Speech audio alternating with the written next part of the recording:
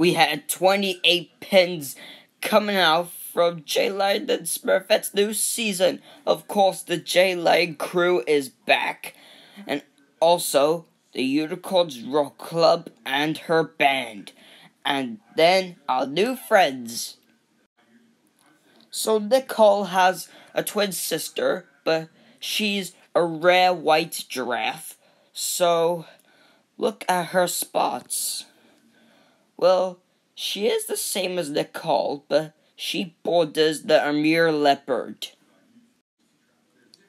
So, the Nichole the giraffe is on the bottom with the J Leg crew. So, I want to show Nichole the giraffe.